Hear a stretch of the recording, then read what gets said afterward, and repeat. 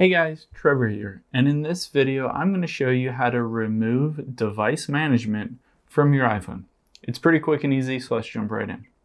Now, if you have a device management on your phone, it's easy to remove that. The first thing that we'll do is we'll open up settings here, and we'll scroll down until we find general.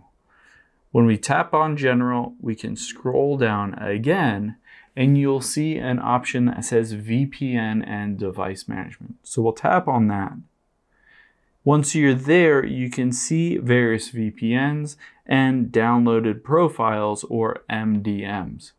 So we'll can, we can tap on this one. I just have iOS 15 beta as my device profile. I can tap on there and then I have the ability to remove that downloaded profile. I can just tap remove and it's completely removed from my phone.